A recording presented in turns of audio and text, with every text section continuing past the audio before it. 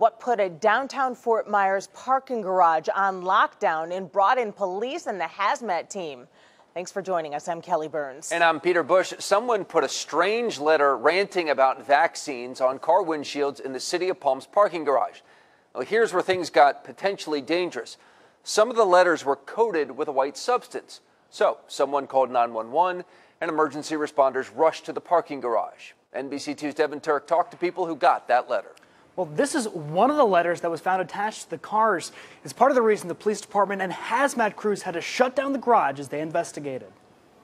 Martin Drexler found a letter on his car when he left work Tuesday afternoon. I seen it on all the cars that were parked around me at the moment.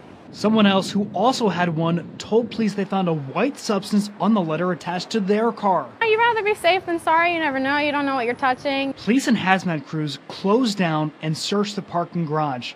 They tested the substance and the air and determined everything was safe. There was no powder or anything that I found on the paper. The letter was written by someone claiming to be a teacher.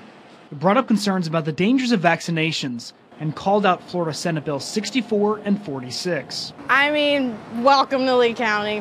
What can I say? The people are crazy. I thought everything was fine. It was just making a statement. Senate Bill 46 would require eye exams for newborns. Bill 64 would delete religious exemptions for school entry health exams. The letter urges readers to protest the legislation, read more on the history of vaccines, and demand safe vaccines. I mean, you should vaccinate your kids. I mean, one kid's not vaccinated, they all get sick with measles. What do you do? Others okay with the message. Just a free country, a personal opinion. It was, it was actually some good material.